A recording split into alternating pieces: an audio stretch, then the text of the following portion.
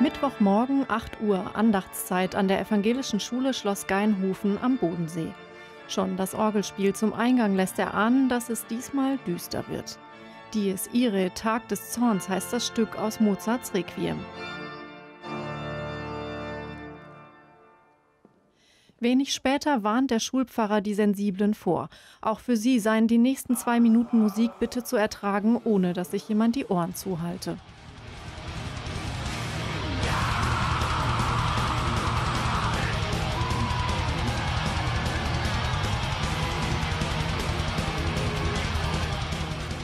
Die ungewöhnliche Musikwahl an diesem Morgen ist kein Zufall. Arnold Glitsch-Hünnefeld ist bekennender Metal-Fan. Sozialisiert mit klassischer Musik sei zwar Mozart seine erste Liebe gewesen, doch dann mit 13 Jahren die Entdeckung einer anderen Welt.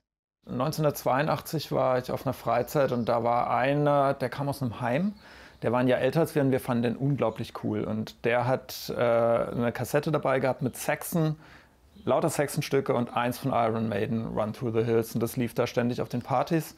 Und als ich heimgekommen bin, habe ich mir dann die Run Through the, also die Number of the Beast von Iron Maiden auch gleich gekauft. Mit dem ersten Live-Erlebnis beim Iron Maiden-Konzert 1983 war klar, das ist erst der Anfang. Die Faszination für Heavy Metal hat ihn die letzten 40 Jahre begleitet.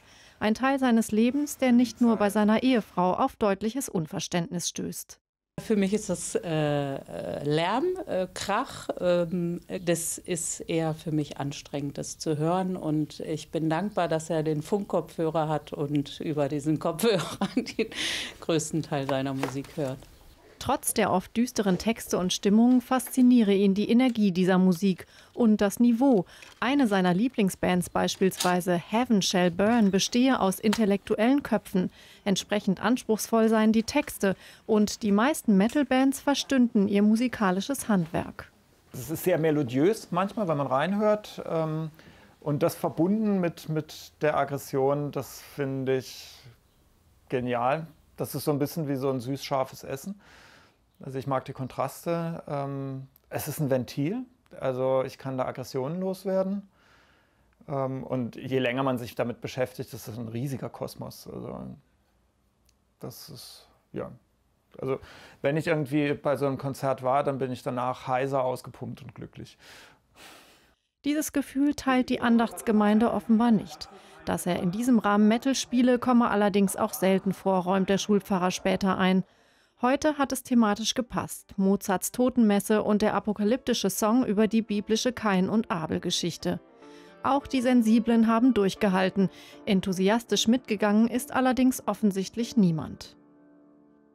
Wir in unserem Alter hören vor allem eher Rap oder Pop oder vielleicht auch Hip-Hop, aber ähm, Heavy Metal ist bei uns nicht eher so ein Thema ich will nicht sagen, dass es mein Lieblingsgeschmack ist, irgendwie in der Richtung, denn ich suche in der Regel auch oder höre auch sehr viel Musik in Richtung, wo ich vielleicht die Möglichkeit habe, die auch umzusetzen, auch selber vielleicht zu spielen, jetzt mit oder zu machen, zu musizieren mit den Schülern. Da machen wir schon auch Rock-Pop-Titel.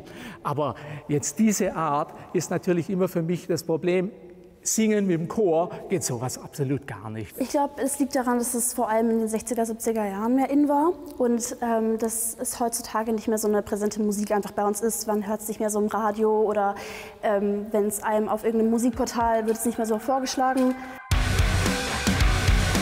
Lebendig ist die Metal-Szene unter anderem auf dem legendären Wacken Open Air.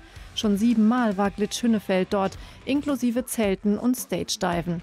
Auch wenn viele Bands und ihre Fans in die Jahre gekommen sind, manchmal kreuzen sich über die Musik doch die Wege der Generationen, gewollt oder ungewollt.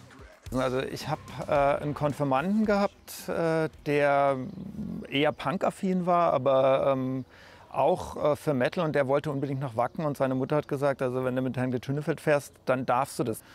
Äh, das andere war, dass ich bei einem Metallica-Konzert war und da habe ich eine Schülerin von hier aus, der, eine damalige Abiturientin getroffen. Und da hat man gemerkt, die fand es eher peinlich. Also wir haben uns gesehen am Einlass und ich habe gemerkt, uh, das ist es gar nicht ihrs. Und dann habe ich auch nur irgendwie Blickkontakt und dann bin ich meiner Wege gegangen und sie ihrer. Und bei, ich weiß nicht, zigtausend Leuten haben wir uns auch nicht mehr gesehen.